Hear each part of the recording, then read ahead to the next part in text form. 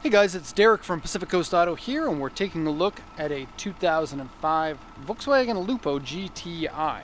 And so this is the sports car version of the Lupo, Volkswagen's smallest car at the time. I suppose now the smallest car is the Volkswagen Up, which I think is a little bit smaller than this even. But uh, the Lupo, very cool car. GTI, even cooler. And we're getting a lot of requests for these recently because people found out that Japan's the best place to buy your, your Lupo GTIs from. So it's a 1.6 liter engine combined with the six speed manual transmission. Makes this a sporty little car, good on gas, easy to run about. Okay, not much to say here. Engine oil and coolant both look to be normal. We have some rattles. You can stop them by touching it. And the engine's a little bit shakier than it typically would be, but uh, nothing that I would worry about. Close the hood hopefully close it properly. There we go. Have a quick look at the car because it's small and fun. Okay, and let's go translate the auction sheet here. So it's a 2005. This one has 78,037 kilometers, authentic mileage, six-speed manual, 1.6, auction grade 4.5 with an interior B and an exterior A. It's a dealer trade-in, first time at auction, buy xenon headlights, roof spoiler on it, a leather wrapped steering wheel. Okay, uh, exterior has various scratches and dents, really no dents on the car anywhere, but it does have a couple of scratches. Door mirror scratched, windshield rock chip, interior dirty, floor carpet dirty, seat wear, steering wheel grip wear, and dashboard has something glued onto it. It's a mount piece there. You can kind of see it through the reflection. Okay, looking at the body, we have A2 right there, and then nothing else.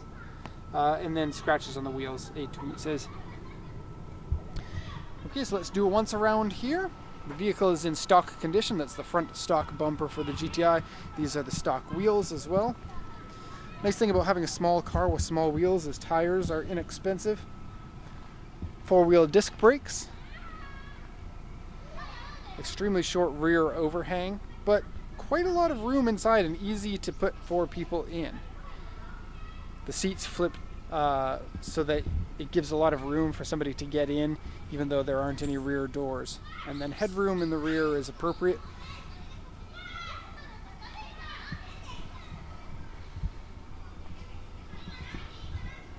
Okay. Front end with the four headlights is uh, Volkswagen era styling, I suppose. Looks good, I think. I like the looks of the GTI with the extra inlets in the bottom there. Here's your A2 scratch. There's also another scratch back here.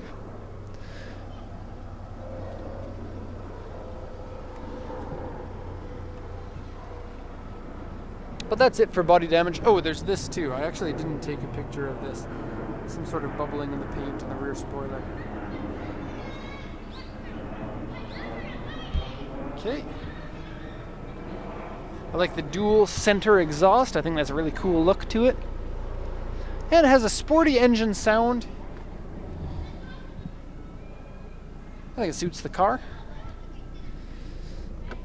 Open the back hatch up. Now you don't get an awful lot of room to put stuff in here. Most of your room is designated to the people area cool red seat belts. I think that's Lupo GTI exclusive part, but not 100% sure. Close that properly.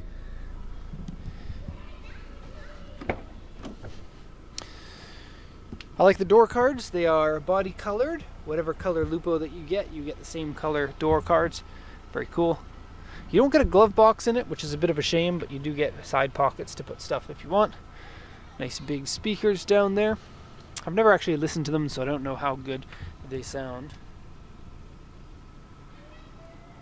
Modern Volkswagen feel inside. For being a small car, I would say that it's it's a nice feel inside. It's good. I like the way the seats fit compared to the position of the steering wheel and the shifter. I think it's uh, appropriate. And the seats look kind of like a Recaro seat. I don't know if they actually are or not. Airbags the seats. That sounds safe. Flip, flip, flip, flip, flip. Super easy to get in. And then, because they use this style for tilting the seat, when you flip it back, your seat is has the proper amount of tilt. You don't have to reset it every time. So you have a little bit of sagginess here. Six speeds make it easier to drive the car fast, I suppose. Because with a small displacement engine and a small car, having the extra speeds gives you better gear ratios. Steering wheel is in great condition. Chrome surround gauges there. ECU works. Power steering feels good. Clutch is very easy to actuate. I think it's a clutch by wire. Missing the cover for the cup holder here.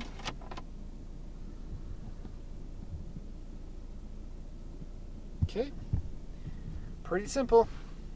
And look at this. One, two, three, four, five, six. That means less space in between gears. That means more power gets to the street. Ah. I had someone complain once saying you're not supposed to pull it up while it's clicking like that. And then I told that person that they're an idiot. Basically. I usually don't comment on uh, people calling, calling me out when they're idiots, but uh, that time I did. Okay, that's kind of like a dashboard. These are the papers from the auction, including the auction sheet. Okay, so not much to say here. I think that the Lupo GTI is kind of like a Mark 1 Golf GTI. Modern era version. So, it's a cool car. And because the condition is good, this video is going to be shorter than they usually are, and so hope you enjoyed this short little video of a Lupo GTI. So thank you for watching this. If you have any questions, feel free to post them in the comment section or check out our website and send us an email. Thank you very much, and have a nice day.